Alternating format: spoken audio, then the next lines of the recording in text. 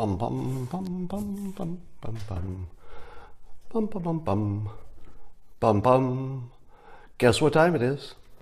It's the best time of the day. Which is weird because some of you will be watching this on replay and it will be a different time of the day when some of you watch it. And still, it's the best time of the day. How do I do it? Well, you can do anything if you've got coffee. And so, you know what time it is. It's time for Coffee with Scott Adams and the simultaneous sip. Grab your beverage, your vessel, your liquids, and go.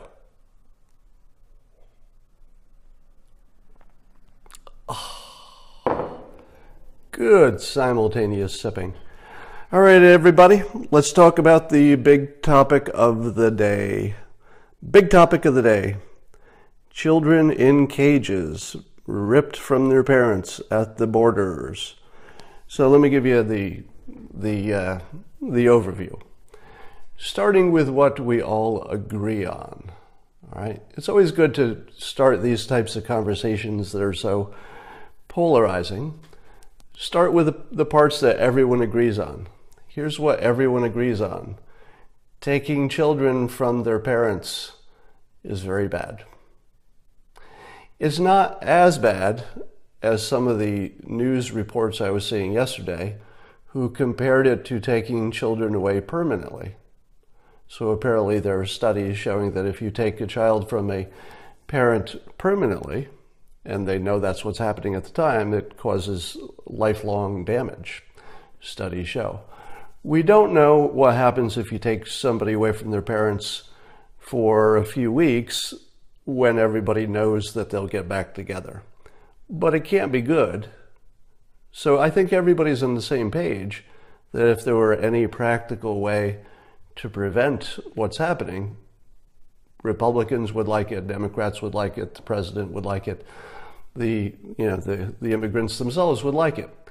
So we should stop pretending that anyone's on the other side of that. And perhaps we should talk about this like adults, uh, which is what's not happening in, in the political world. But we citizens can talk like adults. We have that option. The, the, politi- the political folks don't have that option because the Democrats have a just a great, great campaign issue the, the idea of children in cages is just so awful and powerful that they would be crazy to fix it. So that's your first problem. Democrats would be crazy to fix it. That's how broken our government is. Uh, at the same token, at the same time, Republicans could fix it fairly quickly. They could just say, hey, change the rule keep those kids with those adults. Wait a minute, what's missing? What's missing is how the heck do you do that without making things worse? If the Republicans had a way, if the president had a way to keep the families together, in that part we do have, of course, we could just not separate them. But what do you do with them? Do you make it a really good deal to come here with kids? because in the long term, that would make it worse. So, has anybody explicitly on the news, in any interview you've seen, said what I'm going to say now? We'd like to fix it in the short term, but nobody has an idea to do that that doesn't make it a more attractive thing, so it's worse in the long term. Now, maybe there's a plan like that, and for some reason, nobody's mentioning it. The reason that we have this situation is that the last situation didn't work. So people are asking to go back to the last situation, which didn't work because it was causing more people to be incentivized to come because it looked like a pretty good deal. Um, so if we were to be adults in the conversation, which our government, and here I'm talking about Republicans, White House, Democrats, there are no adults in this conversation. Don't kid yourself. This is a complete failure of government. A complete failure of government. Now, at the same time, Apparently, the, the professionals working at the border and these shelters, the ICE people, are, are actually great people doing the best they can with the resources they have. They're legitimately there to, to make the world a better place. The people taking care of the, the immigrants are, you know, they, they have the, all the right incentives. They're kind people doing what they can. So they're doing what they can, but there's nobody in the conversation, at least on television or in, or in the press, who is just acting like an adult. You've got a short term problem that nobody likes. Nobody. Stop pretending that somebody likes that. Nobody likes the current situation. Nobody. Not the president, not you, not the critics, nobody. But we also don't like the long term situation if it makes more of this. And nobody has an idea for making that go away. So let's talk about while our, our terrible government tries to figure out how to make this go away. Let's talk about some things that we could do in the short term to at least make it not as bad. Right? It's impossible to fix it by waving your hands, but how can you make it less bad? And I'm going to talk about the psychology of it, uh, separate from the physical part of it. If you were to take away the psychological part of the story, you've taken away the, the worst part. Because the psychological part is that children are being taken from parents, and there may be language issues, there may be sophistication issues. You know, the people coming from deep poverty don't really understand what happens to their kids, may not believe it when somebody says, No, we're going to take care of them, this is for everybody's well being. But do you believe that? So you've got this psychological uh, trauma and so, how do you solve the psychological part separate from the physical part? Because keep in mind that the people who were who were making this, you know, arduous, dangerous, um, terrible trip all the way to the border are people who are in desperate situations.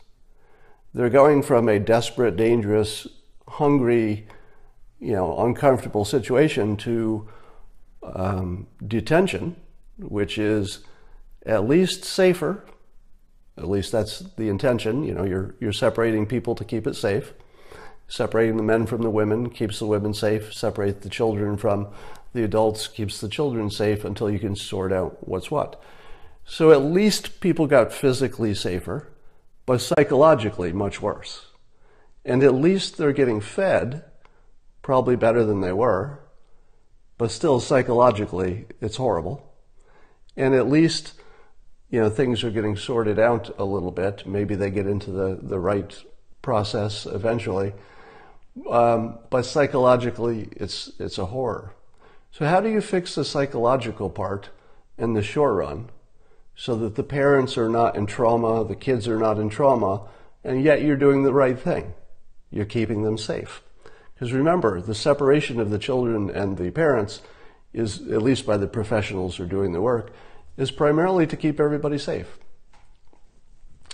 So let me give you some ideas. These are just brainstormy kind of ideas. You can you can say they're terrible later. Yeah, I talked about uh, maybe providing iPads so that people could make calls. But the more I thought about that and saw pictures inside the facilities, I thought, well, where would you put those iPads? You know, where would they be? and, and how do you share them and, and how do you do that? So I've got a, an improved idea. Have you seen the, the telepresence robots?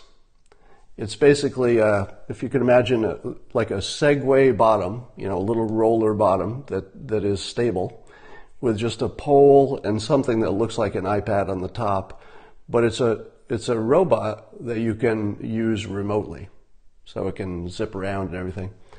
Imagine, if you will, that each of the facilities has a robot or two that's just going around all the time and just showing the people, showing them getting food, showing them taking a nap, and that each facility could look in on another facility.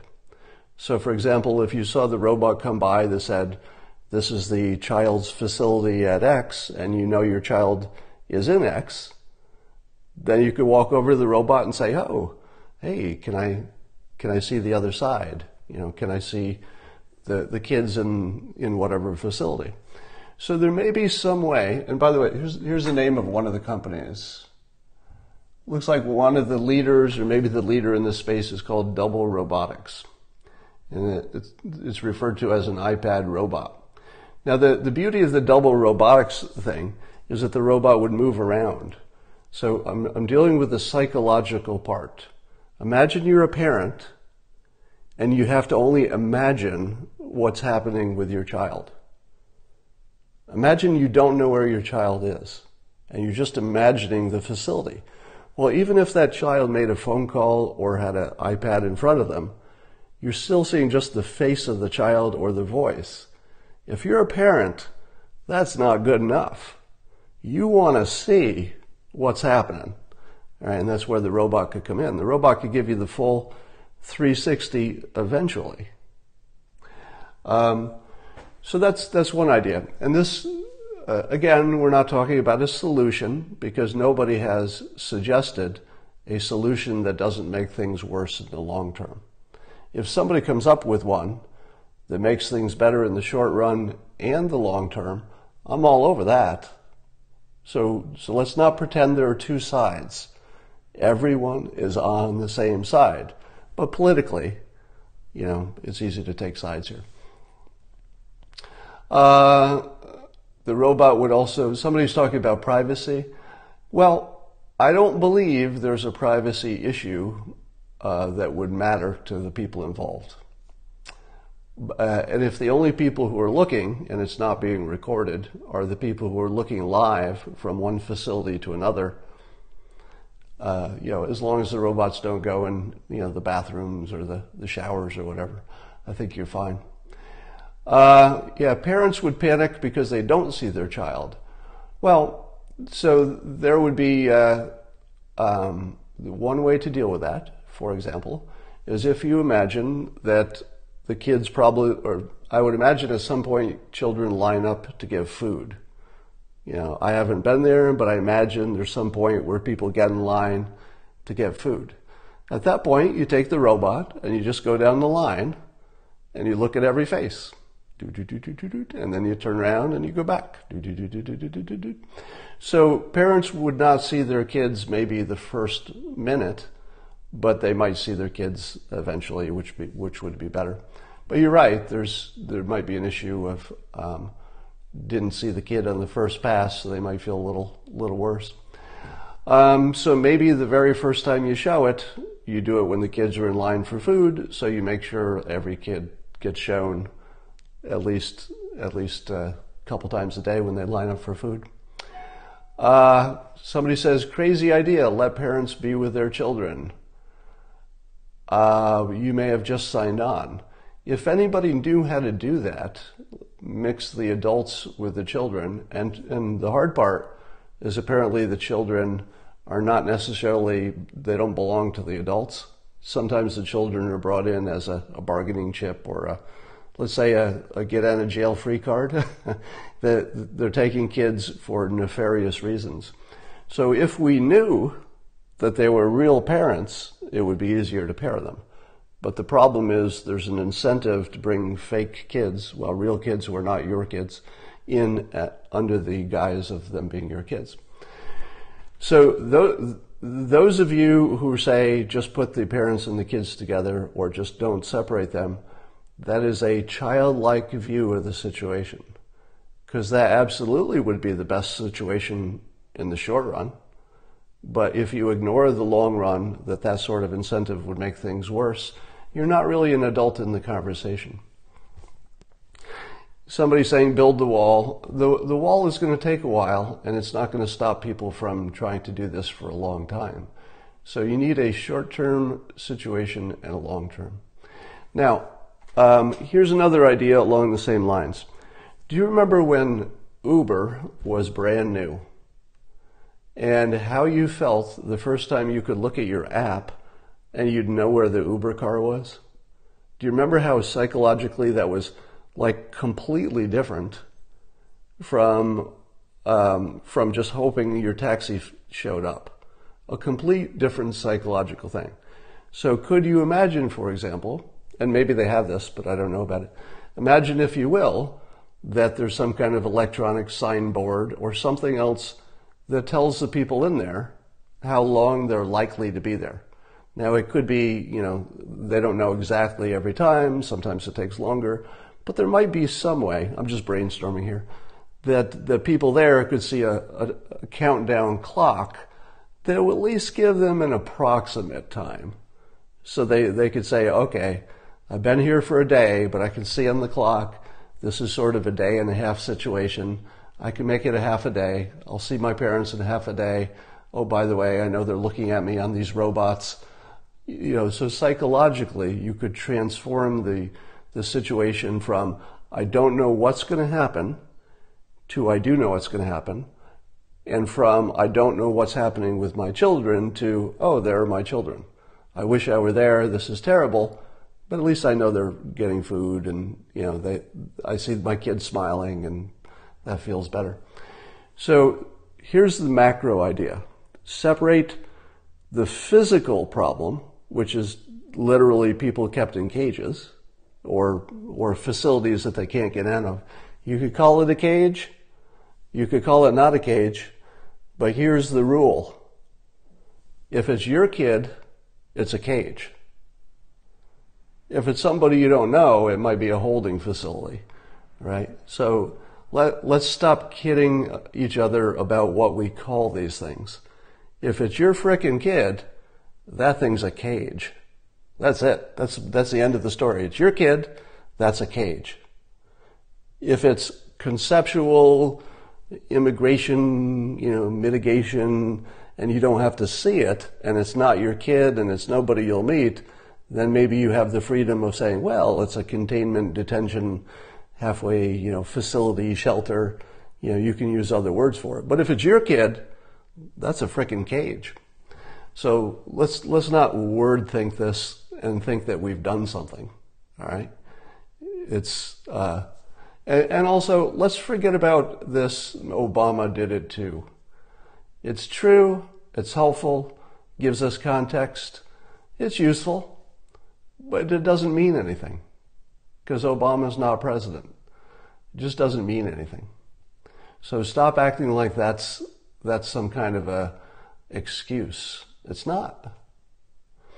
Now, um, have I, I've told you many times about the power of the visual persuasion. Imagine any of this conversation without the word cage or the, the photos that showed people in you know cages. Some of them were actually from 2014, uh, but the detention facilities. I just saw pictures on Business Insider showing uh, I don't know what you call it, but it was like a, a fenced-in inner area within a larger area that looked like a big cage.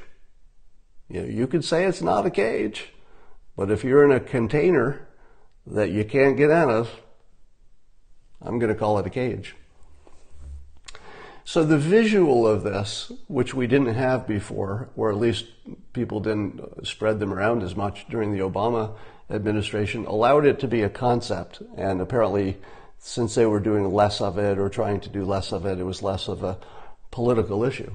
But now when there's more of it, and, and there's pictures, the the Trump administration is going to need to uh, do something because they're getting beaten badly on this, and there, there's nothing that I could support in this conversation except that that well no I, I can't can't support anybody in this conversation. You know, it is true that the Trump administration is trying for a long-term solution, but the way they're handling it is so so poor that I can't I can't give them a, a pass on this whatsoever, just because of the way they're handling it. And by the way, that doesn't mean there's a better way to handle it. That doesn't mean there's a better solution. If if anybody had a better solution, I think they would have suggested it. It's not a solution to just stop doing it, because that just gets you back to the problem you had that you were trying to fix before. You just changed the problem. Um, so if anybody has an idea, I'm all over it if uh, if there's any way we can get some, what are they called, uh, double robotics iPad robots into, let's say, just you know a few facilities, see if it makes any difference. Um, I'm sure you could get funding for it fairly quickly. So, uh, Scott watches news, sees pictures, reverses course. I don't think I've reversed course. Have I? What, what would be something that I said before that I'm not saying now? Uh, I'm not aware of any reverse of course. I'm framing it differently, but that's different, different than a reverse of course. What, was there some, did you imagine that there was some point in, somebody said, somebody says, yes, you have, right after, yes, you haven't. Here's, here's what you think is a reverse in course. Somehow you imagined that I was in favor of kids in cages. You, you must have somehow imagined that. Is there anybody who was in who was uh, who was uh, in favor of that? I don't think so. Uh, made fun of the Democrats for the point. Oh well, but I'm making fun of everybody. Making fun of the wrong word. I'm criticizing everyone. The, the Democrats have quite masterfully turned this into a, a political weapon that's quite powerful. So if we're talking about just the persuasion element of it, the Democrats are, are just kicking, kicking ass on this. There's no question about that. But if you're talking about the, the human element of it, this is a complete government breakdown.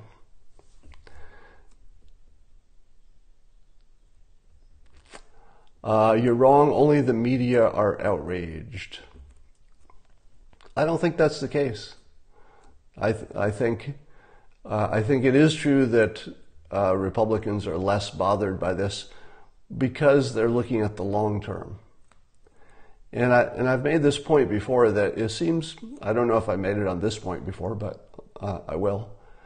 It seems to me that the Republicans, just generally, conservatives in general, are sort of the the, the parental party, the, as in this will hurt in the short term, but in the long term it's going to be better. And the Democrats are kind of stuck in the short term, which is why can't you give us all candy? I don't understand. Why, why can't we just eat candy? And then the parents say, well, candy's okay once in a while, but you have to have a meal or else you'll, you'll die if you just eat candy. And then the children say, but I like candy and I don't like roast beef. So why can't I just eat candy? So that's sort of where we are. Why can't I have candy versus um, how do we fix it in the long term? But the long term people are totally blowing the short term, and the short term people are completely ignoring the long term. That's why I say you've got two parties in complete failure mode complete failure mode. Both sides and the White House, complete failure mode. I, I, I can't think of anything else. Can you? Uh, well, maybe healthcare. Healthcare, I think, is complete failure mode as well. So I think immigration and healthcare are complete government failure mode. Democrats, Republicans, White House, across the board, complete failure. All right. Uh, is there anything else happening today?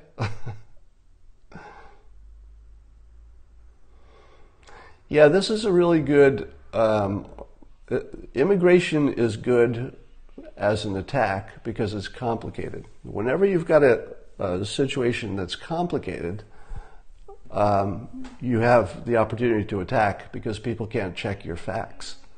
So the, the Russian thing was complicated. That was great. It worked great as an attack. Um, the OIG report, people are seeing whatever they want to see because it's complicated. Nobody understands it. Taxes, nobody understands. Trade, nobody really understands. Um, so wherever you have these complicated situations, and immigration certainly is is complicated, you uh, they got you reeled in on this one, Scott. Explain. So, you know, you hear me talk about uh, tells for cognitive dissonance. whoever just said, they've got you reeled in on this, Scott. If you had a reason, I'm pretty sure it would have been there.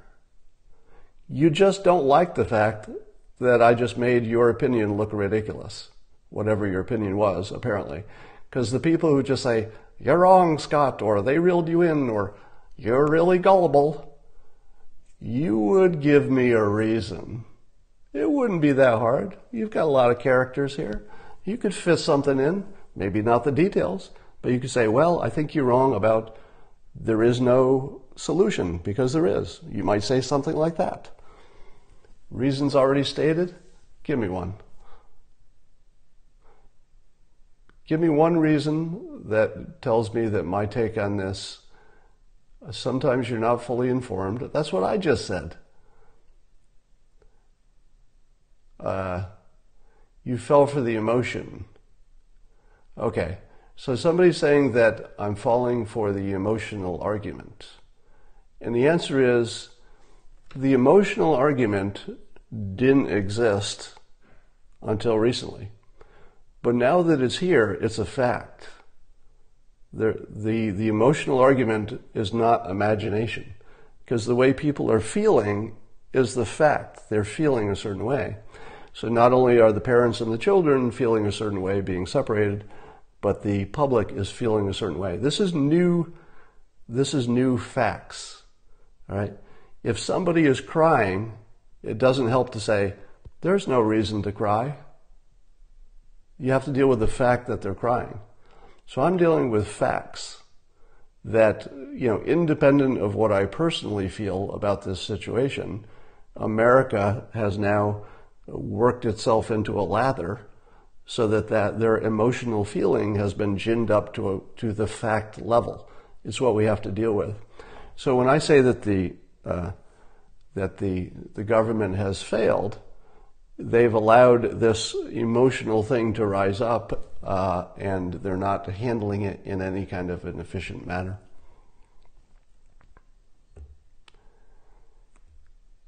Yeah, no matter, see, the, the issue here is that the moment you say children ripped from parents and children in cages, there's no other side to the argument.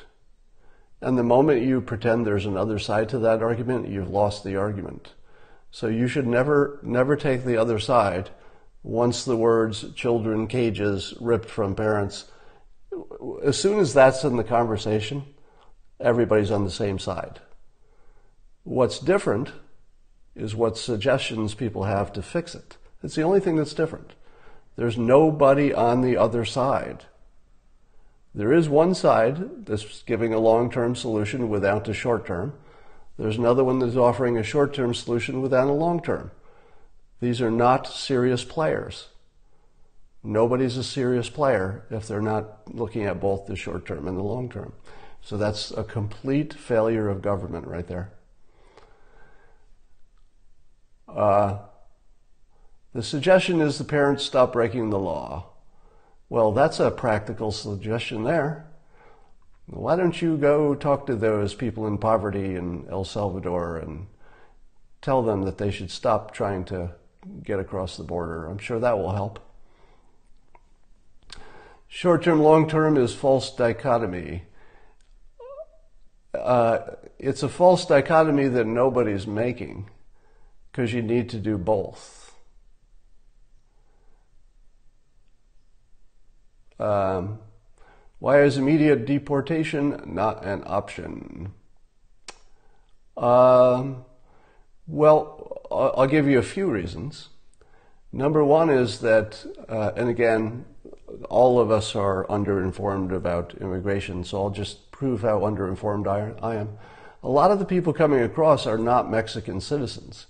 If they were Mexican citizens, it seems like it would be easier just to say, here's the door, go back on the other side. Uh, you know, they, they, presumably they just try to get in again. Um, but if they're from El Salvador, you can't deport them to a different country. You can't deport an El Salvadorian refugee to Mexico. You know, because there's somebody on the other side of the door in Mexico saying, hello, it's Mexico. What do you have for us? How, how, about you take some El Salvadorians who don't live in Mexico And they go, thank you. No, no, thank you. Close the door.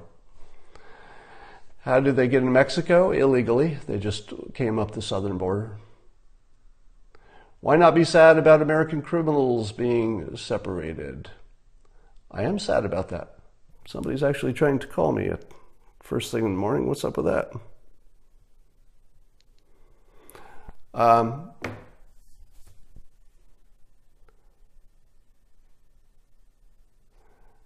drop off in Canada. Who pays for their trip? Good question. Uh, it's all manufactured hysteria and you fell for it. No, I think you're not listening to this. I'm saying that there is a manufactured hysteria and that the country has fell for it. So now it's a real thing because people are dealing with it, you know, as their top issue. You are correct in saying that if people were to rank the things that matter the most to them, it wouldn't be anywhere near the top. Yeah, I don't know. Uh, two weeks ago, it wouldn't have been in the top 50 probably because you'd never even heard of it. So you're right that this is a, um, a ginned up hysteria, which is still around a real problem. It's, it's a real thing that children are being separated for, from, a, from their parents, which is not good for the children. Um, but there's certainly a difference between a child in a cage and a child who's staying with a relative who didn't go to jail. You know, those are fundamentally different.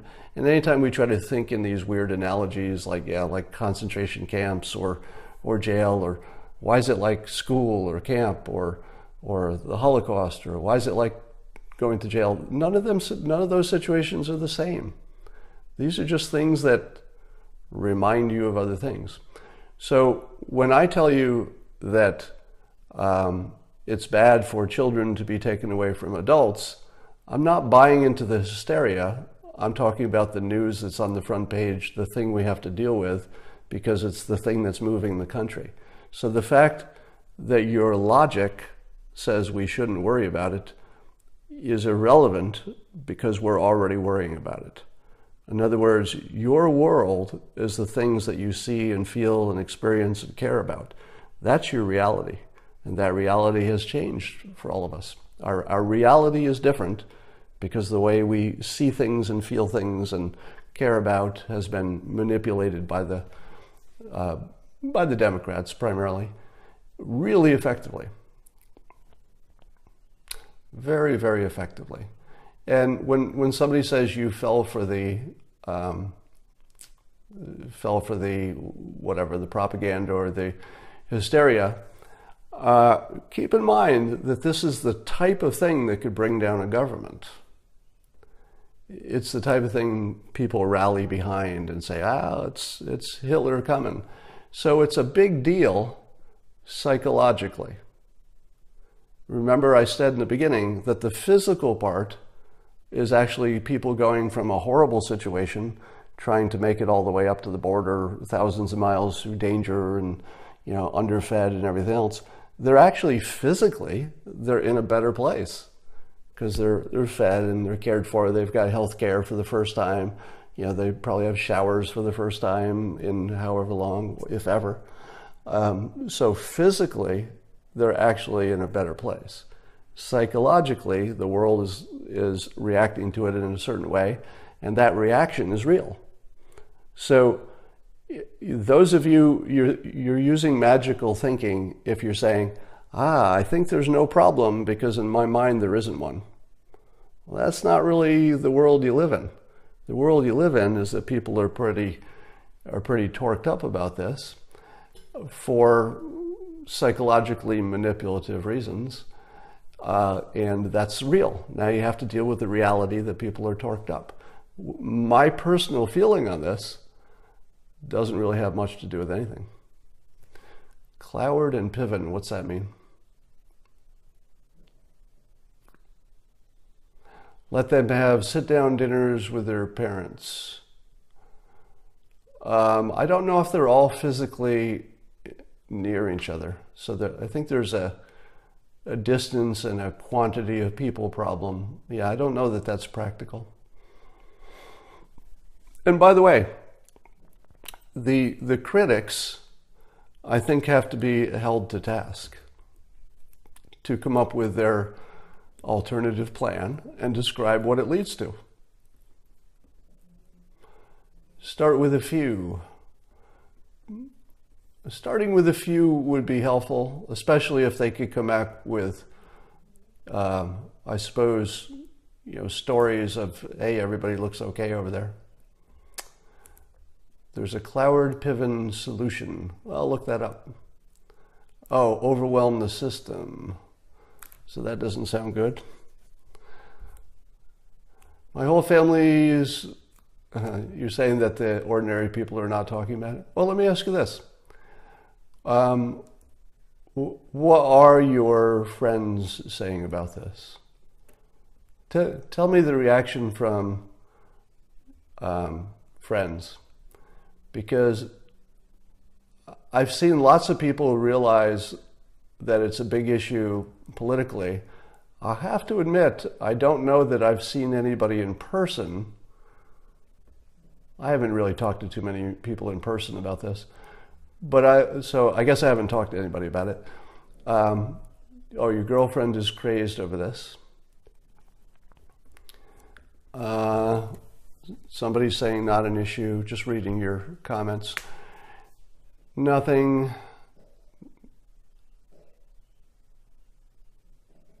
Uh, friends don't care about it. People are saying, yeah, my aunt cried for 30 minutes after watching CNN.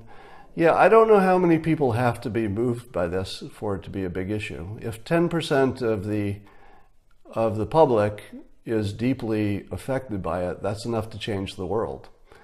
So if you, uh, and this is a, uh, something I've talked about before, if you have an issue that everybody is a little bit concerned about, it probably is a, a irrelevant issue. Even if everybody's on the same page and everybody's concerned about it, but they're just sort of concerned. That doesn't move the needle. But if you have 10% of any public who are super emotional and care about an issue, that 10%, somebody's saying closer to 2%, but 10% is better, just for the example, that moves the needle. 10% of people really, really caring changes the world. Yeah, somebody's saying it's a Democrat talking point. It's more than that. And when I mean more than that, a talking point sort of suggests that it doesn't make much difference in the real world. But this is something which has taken on a bigger feeling, and it's uh, politically it's dynamite. It's a it's a nuclear bomb politically. Somebody says we can see through the hysteria. You should too. What what is it that I said that suggests I don't see through this hysteria. I literally describe this as the people being in a more comfortable situation compared to the danger that they took to get here. It's temporary. They are cared for physically in every way. And of course, we have to have laws uh, that, that work in the long term. Is there anything that sounded like hysteria in that? And the public is worked up about it. That's just a fact, right? And the psychology of the people involved could be probably a lot better because when kids and parents can't see each other, there is a psychological stress. Is anybody disagreeing with anything I've said so far? So your characterization of me as a as a comic, ironically, comic character who who can't see the whole picture, I believe does not match the facts because I just described it in a way that I think 100% of you would agree with. So if 100% of you agree with me, tell me one thing you don't agree with. Go. Tell me one thing you don't agree with.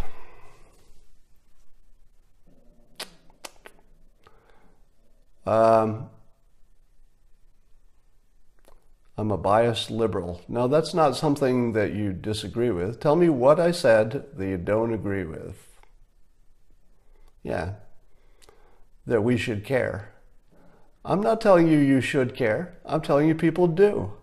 That's an observation that you agree with. I'm not saying you should care. I'm saying people do. That's a fact now. Other people care. You agree with that. Don't pretend that you disagree with me because you don't.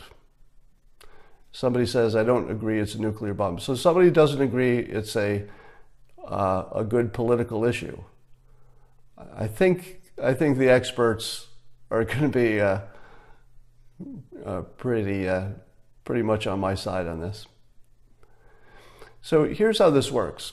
The fact that it gets a lot of attention is what makes it important.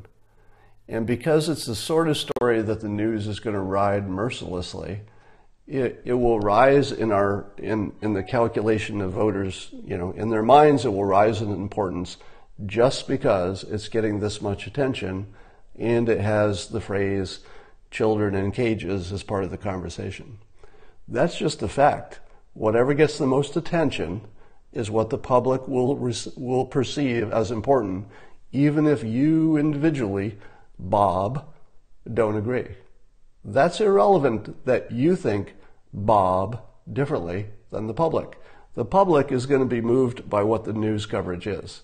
And the news coverage is focusing on this as a Hitlerian move, and that's going to move the needle. It's absolutely powerful.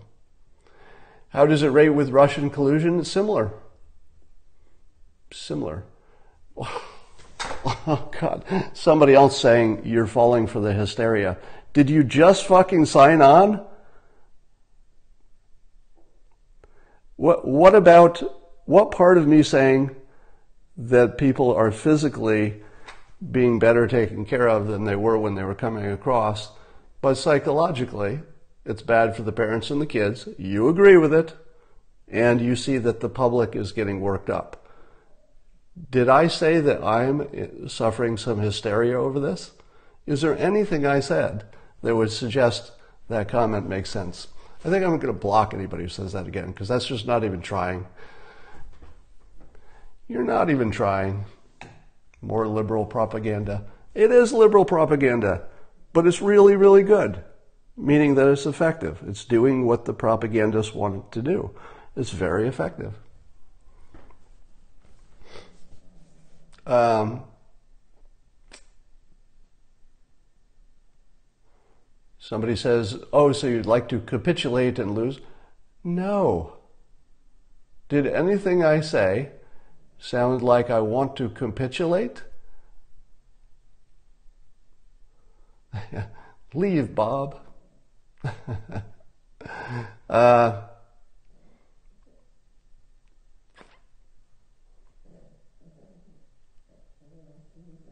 ripping children from their mothers.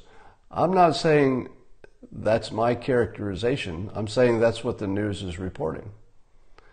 Child Protective Services. So somebody probably wants me to mention that Child Protective Services does remove children from adults.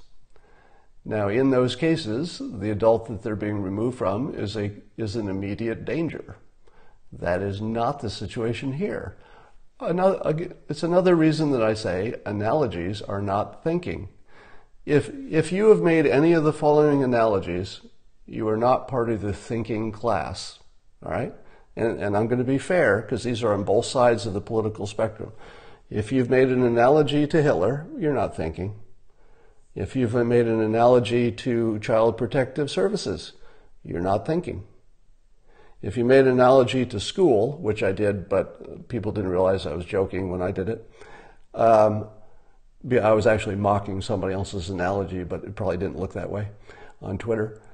If you're, if you're making an analogy of this to anything else, you're not part of the solution, you're not thinking, because this isn't like anything else.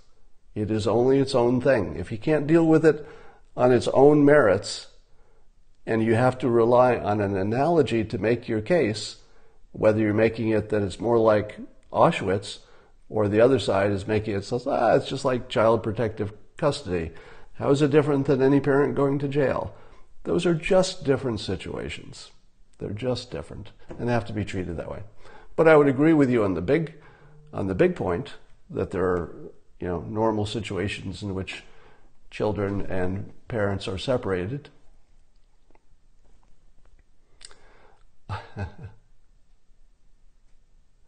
Would Trump visiting and seeing them happy help? You know, I, I wondered about that, but probably not. Yeah, the, the, it would be, there are too many ways that could go wrong.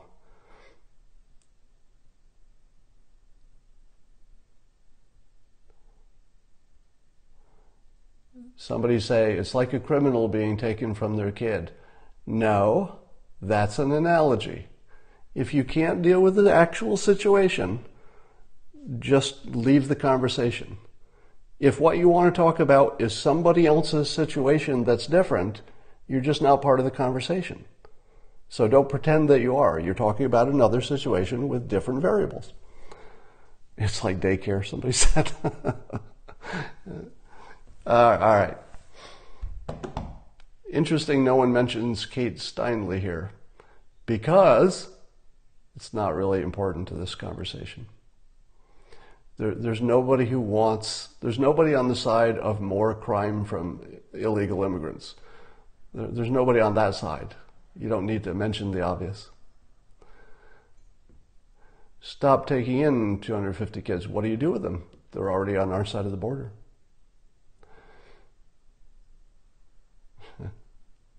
All right. Why are they not considered invaders? Um, well, that is word thinking. Word thinking. You can call them whatever you want. It doesn't change what it is. It doesn't change what you do about it. Changing the name for it doesn't change your strategy.